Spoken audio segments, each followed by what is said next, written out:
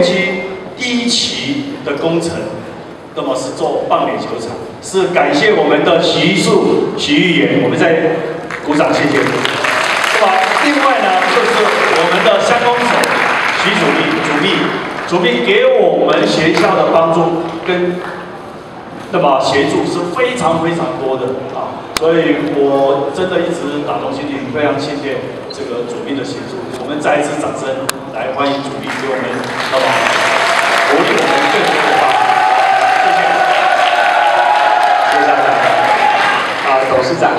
陈组长，我们呃台上的各位贵宾，还有我们的董事、呃董监事，还有各位家长、各位老师、各位同学，大家早安，大家好。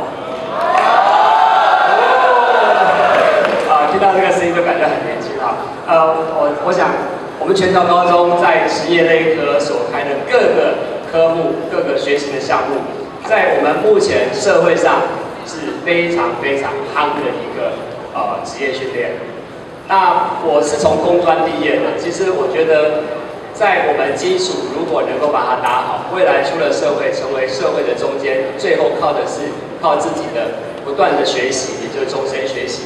那我想很高兴，我们全桥中学在我们龙潭能够提供这么棒的一个学习机会，而且开辟了非常多不同类型的各种各种职业科系，让大家的成长。我想在我们龙潭乡来讲，啊是非常棒的。那我想这次呃，我们乡长特别去跟国防部拨用了四公顷的土地来建体育园区，然后临近我们全条高中，更重要的是我们有更多的一个呃